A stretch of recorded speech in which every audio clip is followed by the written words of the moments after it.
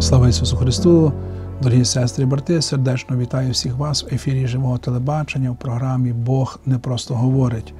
Мене звати отець Юрій Щурко, я є деканом філософського богословського факультету Українського католицького університету, і моїм скромним завданням є допомагати вам краще розуміти святе письмо. Сьогодні е, ми перейдемо до розгляду складних місць у першій книзі Самуїла. Але перед тим, як ми будемо говорити про події життя самого Самуїла, ми зосередимося на тексті, який випереджує його покликання, е, тобто говорить про попередника е, цього великого пророка і судді Ізраїля Самуїла, про Елі. А властиво не про самого Елі, але про його синів Хофні і Пінхаса які на противагу їхньому батькову, батькові е, виявилися дуже аморальними людьми, які доволі богохульно і святотацьки провадили своє життя, незважаючи на те, що жили е, поруч е, зі святим місцем і нібито служили, як вони думали, Богові. У першій книзі Самуїла, у другій главі, з 22 по 25 вірш, є текст, який я сьогодні хочу трохи пояснити і е, розповісти, в чому тут є трудність. Хоча Елій був вельми старий, однак же чув усе, що коїли його сини всьому Ізраїлеві. І те, що жили з жінками, які служили при вході до намету зборів, тому й говорив їм: чого ви коїте так? Як ото я чую від усього народу, оті ваші погані вчинки. Ні, мої діти, не гарна поголоска, що я чую, ви віддаляєте народ Господній. Коли зрішить хтось проти чоловіка, то Бог заступиться за нього. А коли хто небудь проти Господа зрішить, то хто за нього заступиться? Та вони не слухали батьківського слова.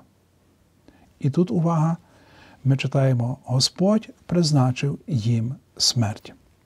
Очевидно, ці слова зразу, е, знаєте, десь людину напружують, яким чином Господь призначив смерть синам Елі. Чи тут мова йде про якусь предестинацію, чи вони вже не мали права на покаяння, чи вони не могли би змінити е, своє життя. Е, так? Ну, Чому тут мова йде про якусь таку приреченість? Наскільки у цій історії вони мали ще якусь свободу? У сьомому вірші другої глави першої книги Самоїла ми читаємо: Бог робить убогим і багатим, принишує, але й підносить угору. Ці слова також можуть нас е, дивувати. Але і одні, і другі е, слова говорять про те, що ніщо в житті е, в цьому світі не відбувається без Божого допусту. Тобто Бог шанує нашу волю більше, ніж ми цінуємо її самі. І Бог також може підтверджувати жорстокі і бунтівні наші рішення і нашу свавільну поведінку. Безталанний Елій, як ми чуємо, е, будучи Божим чоловіком, тепер вже у похилому віці, як ми читаємо, не міг впоратися з тим, щоб напівнути своїх синів, щоб вони не тільки не чинили святотатство, але не й і не чинили згіршення, тобто не віддаляли е, від Бога своїм богохульним прикладом життя вірних Ізраїля. Більше того, ми чуємо, що вони вдавалися до такої культової розпусти, як тут делікатно сказано, що жили з жінками, які е, властиво служили е, при наметі. Тобто це те, що було дуже поширено в язич, язичниках, при храмах і так далі. І це все вказує на те, що вони абсолютно не розуміли, кому вони служать, до чого вони покликані і хто вони такі самі. Очевидно, така їхня поведінка викликала Божий осуд. Ми, коли прийдемо до аналізу текстів Нового Завіту, ми побачимо подібний текст в п'ятій главі діяння апостолів, текст про Ананію і Сафіру, які нібито щось е, продали для того, щоб все віддати Богові, так? але щось для себе приховали, і, як каже автор діянь Лука, обдурювали Святого Духа. І вони обоє померли. Чому? Рання церква не могла мати такого розмитого прикладу християнства. Оцей максималізм євангельський, оцей ідеал е, моделі християнського життя він мав потягати добрим прикладом, а не просто зразу розпорошити, знаєте, все це прекрасне і цінне, яке людина могла. Отримати через зустріч з Христом для того, щоб ставати е, у ньому новим творінням. Те саме коли Ізраїль формувався як народ Божий, е, не було неприпустиме для тих, хто стояв на чолі цього народу. Ці люди не могли просто е, в духовному плані давати таке згіршення, щоб не було межі між життям язичників і життям Божого народу. Чи рішення Бога було раптовим несправедливим? Навряд чи. Напевно, Бог роками закликав синів Ізраїля через, зокрема, слова їхнього батька. Але вони, як колись фараон в Єгипті, просто ці речі ігнорували зухвало і розтринькали цей час милості і довготерпіння Божого. Врешті прийшов момент, коли Бог, е, очевидно, призначив їм смерть. Я заохочую вас прочитати цей текст, і ви побачите, яким чином вони їх спіткала смерть. Е, але тут, очевидно, важливо є зрозуміти, що цей і подібні тексти говорять, що довготерпіння е, і милосердя Боже, воно також, е, хоч здавало би є безмежним, е, є покликане до того, щоб людина не занапастила свою душу. Те, що вони потім обоє загинули, вказує на те, що Господь, напевно, не тільки карав їх як пересторогу але, можливо, і на іншому рівні якось рятував їх від того, щоб вони геть цілком занапастили свою душу, бо, може, хоч щось добре було в їхньому житті, що дозволяло їм не втратити вічність. І таке закам'яніння це не є щось таке перше. Як ми читаємо книгу виходу з 4 по 14 главу, то там тема закам'яніння, зауважте, е, знаход... Е, згадується 20 разів.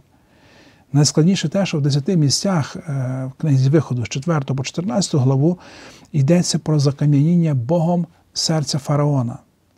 Це, очевидно, турбує багатьох людей. Але Бог двічі передрікає це, що закам'янить серце фараона перед тим, як він повідомляє Мойсеєві, що той має піти до до фараона і просити, щоб той пустив, випустив для покоління Богові народ е, у пустелю. Очевидно, що нам здається, знаєте, що тут Бог от закам'янив його серце. Але Бог е, бачив оцю, е, скажімо, таку арогантність, оцю гордість, оцю пихатість фараона, які властиво проголошували себе Богом, посилав різні кари, щоб зм'якшити його серце. Але цей ставав чимраз більш таким осоружним Богові, бо противився, очевидно, і виказував свою ненависть і нехіть і, і, і, і до ізраїльтян, і, очевидно, жодним чином не брав до уваги те, що Бог від нього хотів. І це вказує на те, що тоді, очевидно, Бог робить якісь превентивні акти. Ми повинні розуміти, що е, Божі обітниці вони є невідкличні. Але тоді мова, коли йде про якісь е, природні речі, і про спасіння людей. А коли людина інколи е, розуміє, творить якісь дурниці, ну то Бог деколи е, ну, якісь речі мусить змінювати. Ще раз кажу, коли ми говоримо про пророцтва в Старому Завіті, ми повинні розуміти, що безумовними є речі, які стосуються природи і спасіння людини. Що я маю на увазі? Наприклад, завіт Бога з порами, що так скажу, року, в книзі буття, 8 глава, 22 вірш, коли Бог сказав, що вже не буде якихось таких катаклізмів, як як, як мали місце в часі потопу. Його завіт з Авраамом, Ісааком, Яковом, який стосується мого і вашого спасіння. Його новий завіт, про який говорить Єремія, який реалізується крові Господа нашого Ісуса Христа. Також його новий завіт з небом і землею коли Господь каже, що все буде не знищено, а перемінено, і про це вже чуємо в 65 66 главі книги пророка Ісаї. Але є, скажімо, обітниці, які і просто які він дає, що, от, наприклад, щось буде знищено, е, І людина що? Може відвернути ті речі? Може, коли покається. Я наведу тільки два приклади, які є дуже прості і дуже не потребують великого міркування. Приклад е, пророка Йони. Господь постановив суд над Ніневією. Це було пророцтво про суд? Було. Чи воно могло збутися? Могло. Чому воно не сталося? Тому що ніневитяни покаялися. Це врешті те, що розсердило Йону, бо він знав, що Бог є е, многомилостивий, довготерпеливий, і що як він почне проповідувати покаяння, то Ніневія покається. Але він цього не хотів, бо вони були жорстокі супроти Ізраїля. І, і, і очевидно, він волів би покарання для них. Але через покаяння цей осуд і покарання були абсолютно знівельовані, відсунуті. Другий приклад це е, перський цар Кир, який дозволив ізраїльтянам повернутися з неволі так, е, в 517 році до народження Христа. Це Вавилонська неволя це була одна з найбільших трагедій в історії старозавітнього Ізраїлю. І Вавилонський цар Кир, на відміну від фараона часів виходу, дозволяє Ізраїлеві повернутися до своєї землі, дозволяє йому відбудувати храм, дозволяє йому відбудувати навіть мури міста, тобто державу, можна так сказати. Чи цей чоловік не, не, не мав влади, чи він не був пихатий, але він також якось е, реагував на ці Божі імпульси, на те, що Бог якось клав йому на серце. Тому, е, читаючи такі от речі, що Бог призначив їм смерть, то ми просто е, читаємо щось, що є з одного боку такою певною недосконалістю мови, але з другого боку, ми бачимо, що ніщо в цьому житті не відбувається без Божого допусту. Ізраїльтянин ніколи би не міг би повірити, що щось сталося без того, щоб Бог про це знав. Тому що призначив їм смерть, це означає, що вони вибрали смерть. Бо Господь, як ми читаємо п'ятикнижжя, зокрема Второзаконня, Він каже, життя і смерть ставлю перед тобою. Вибере життя. Бог не може різні речі говорити, Бог каже, вибере життя. А тут люди вибирають своїм життям смерть, і означає, Господь їм попускає цю смерть, і тому біблійний автор каже, Господь призначив їм смерть.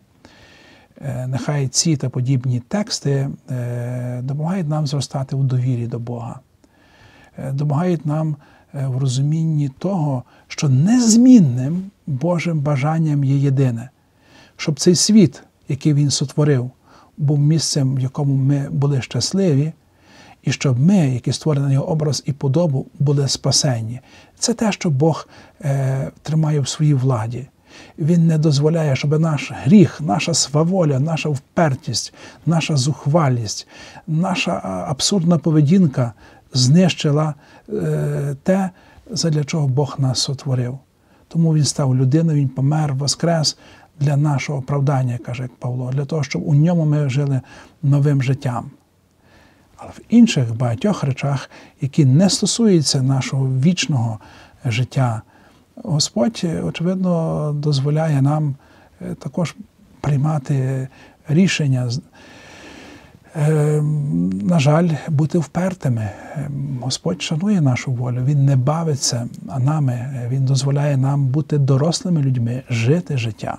Нехай ці тексти вказують на нашу відповідальність перед Богом за наше життя і також дають нам розуміння того, що це життя це безцінний дар, за який ми також будемо відповідати перед Богом.